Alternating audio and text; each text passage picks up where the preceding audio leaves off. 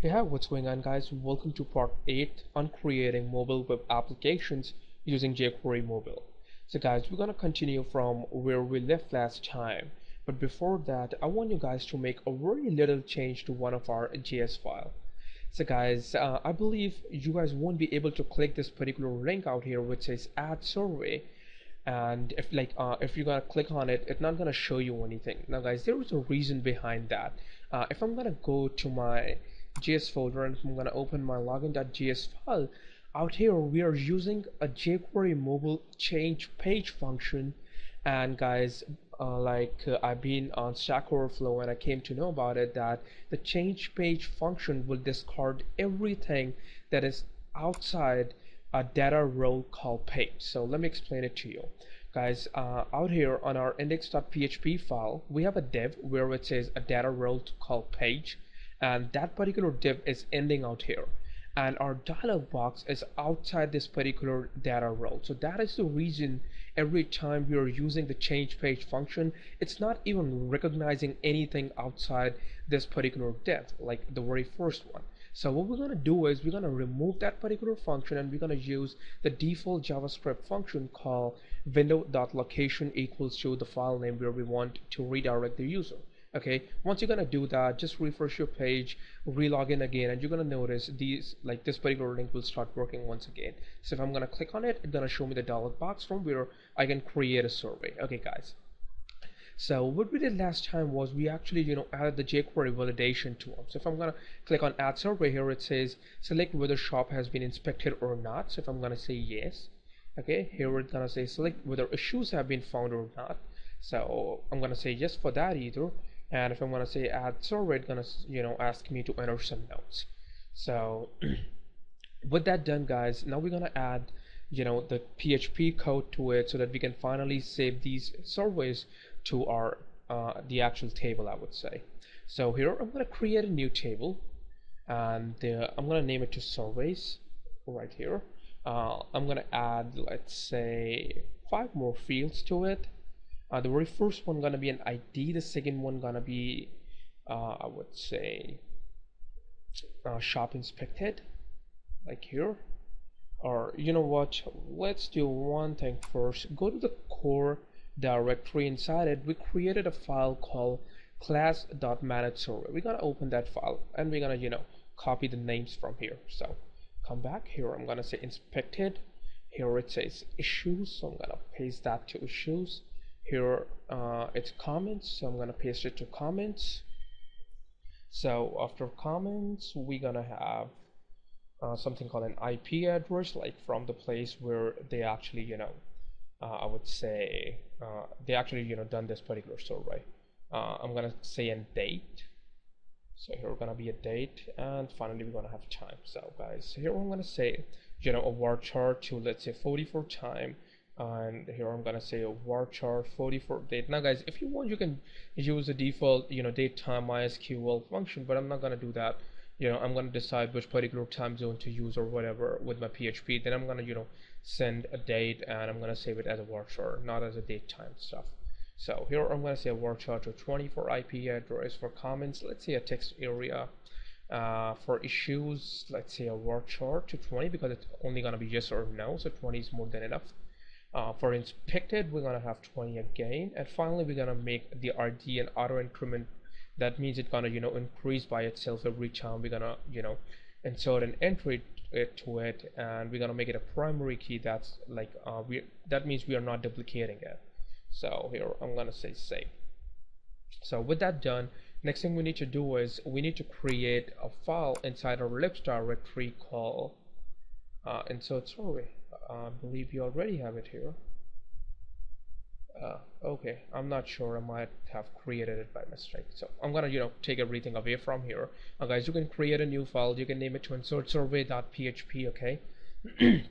And here we first oh, we need to include our class file okay? So I'm gonna say one folder down go to core and look for the file called class.manageSurvey.php okay? Uh, here I'm gonna say survey init like we're gonna create an instance of our class. Here I'm gonna say new manage survey. Manage survey like this. Uh, with that done next thing needs to be inside the js folder and the file called add survey.js now guys now what we're gonna do is you know every time we are submitting a form uh, we actually gonna you know make an ajax request to this particular file and we're gonna insert everything to our database. So let's do it quickly out here. Uh, here I'm gonna say uh, dollar dot post like we're gonna make a post request to the file called libs slash insert survey. Okay like here insert survey survey.php uh, for the data I'm gonna say it's gonna be dollar form dot serialize. Like it, it's gonna get everything from our form. So here I'm gonna say dollar form dot serialize. And then we're gonna you know run a callback function called response. And here I'm gonna say if response is equals to equals to true like that means we are able to you know uh, insert everything to the database so we're gonna you know uh, show a success message to the user. I'm gonna say show success uh, survey survey added successfully like this okay? That's all we need to do and here I'm gonna say show error and here I'm gonna say you know the actual response we got from the server. So I believe guys that's all we need to do. Let's go ahead and test it out whether it's working for us or not. So uh, I'm gonna make a page refresh very first I'm gonna open the add server dialog box here and I'm gonna say shop inspected. Let's say yes issues found. Let's say no. Um, let's open the console. No there is no ajax request. Let me check out why. So issues found here would say that its length is equal to zero then do all this that's fine.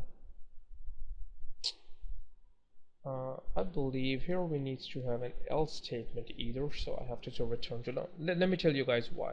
Uh, very first what I'm saying is if issues have been found then only we're gonna run this particular if statement. So in our case issues found is equal to no. So that means we are not gonna run this particular if statement and in that case this function not gonna return anything. So that's why we're gonna you know let this function know you know if the if clause is not working you know just return it to true. I believe now we can try it one more time and let's see if it works for us. So one more try here. I'm gonna say shop inspected. Yes issues found no. It was a nice shot so finally I'm gonna say add awesome. Now guys you will notice there is there is a request to the server. So I'm gonna increase the console size here it says class manage database not found on class manage survey.php so here is our class called manage survey. We have not included our database file. That's the problem. So that's what I'm going to do right now. Here I'm going to say include once class dot database dot php. That's all we need to do. And guys, if you will notice, what exactly happening is there are like we are sending two requests to the server, though we only want to send one. So we're gonna solve that either. Uh, I believe they're gonna be the problem because we have this particular file out here to the bottom. So I'm gonna you know keep it out here inside the head section. Now I believe everything gonna work. So one more try finally guys. Uh, here I'm gonna say yes let's say issues found to no again. And finally we have one request and there is no response from the server server. That's fine because we have not you know done anything there and there is nothing inside post either. So that's something we need to worry about.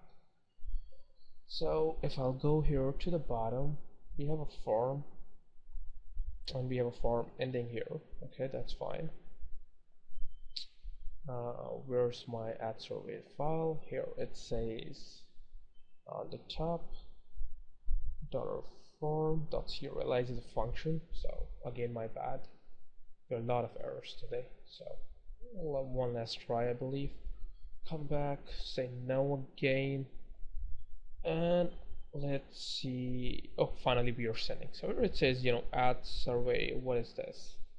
Okay that that actually gonna be the like like the button link so don't worry about it. The comments like we are not sending any comments. Issues found no shop inspector. yes that the user who actually you know made this particular survey was my username like the one I'm using to log in so I believe guys that's all we need uh, for this particular thing. Very first I'm gonna you know take away this console stuff. Otherwise you know uh, it's gonna you know keep us showing this all stuff out here on the top. So I'm gonna you know take away that console command from there. Clear it. Uh, I'm gonna you know minimize the console or probably firebug. Uh, guys next thing we need to do is we need to run this particular function called add survey. So I'm gonna copy it like this. Uh, here I'm gonna say dollar add survey okay? Like we're gonna create a very simple variable they're gonna you know uh, contain the value returned by this particular function out here okay? So here I'm gonna say dollar survey init survey init and they're gonna be add survey now all we need to do is if dollar post like we're gonna do all like everything if only there is a post request. So if dollar post uh, the username gonna be the actual username from the post request? Or if you want we can you know grab it from our session file but okay let's keep it from the ajax request only. The inspected gonna be so I'm gonna say dollar inspected. Uh, I'm not even sure. Give me a second guys. Shop inspected. So here I'm gonna say dollar post shop inspected. Then after uh, I'm gonna have issues. Gonna be equals to dollar post.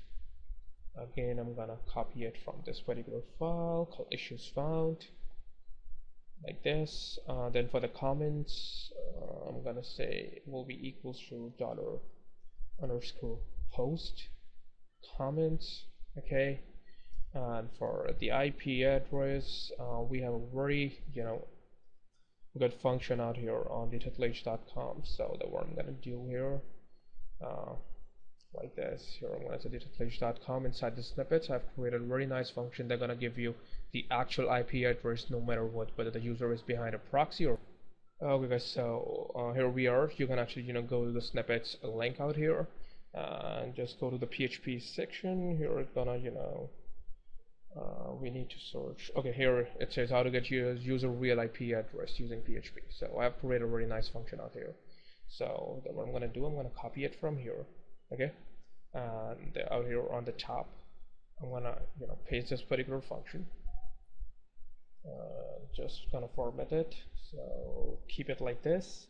Here I'm gonna say IP address to this particular function called get user IP okay and then I'm gonna have you know date to like date here y and an m and an d like this is a PHP enable function. In order to get the current date for the time here I'm gonna say time to HIS okay so that's gonna solve our problem here.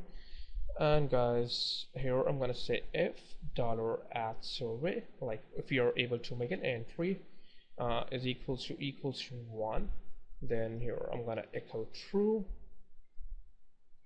And if not I'm gonna you know let them know about the error. So here I'm gonna say echo. Uh, there was an error adding your survey. So like this. So come back close the site here. Just refresh it one more time. Here I'm gonna say add survey for the shop inspected say yes it's like issues found I'm gonna say no or probably say yes this time. And here I'm gonna say shop door is broken. Okay? Any crap out here. So here it says undefined index username. Okie dokie uh, let's come here. Here it says survey username not username. That's my bad. Uh, let's check out whether we, are, we have any entry here or not uh, no finally we don't so uh, here I'm gonna you know again I'm, I'm gonna leave everything to the way it is. Here it says there was an error adding your survey. Now what's the error? We don't know about it. Let's check out what can be the error here. So I'm gonna go back to the class. Here it says insert into okay. Guys here it says insert into survey and our table name is called surveys. So that's my bad. Uh, I'm gonna try it one more time. Again it says the same thing let me check out there might be some problem with the query itself. So username inspected issues comments IP address date time the value is gonna be one two three four five six seven. And I believe they need to be six here if I'm not wrong. Yeah. No. Okay let me check out issues username. Oh my gosh you know we don't have any field for username here so that's one more mistake I did. So I'm gonna say you know insert one after ID uh, here I'm gonna say username like the actual user who took the survey. So varchar 250 one more try guys. Oh finally here it says survey added successfully.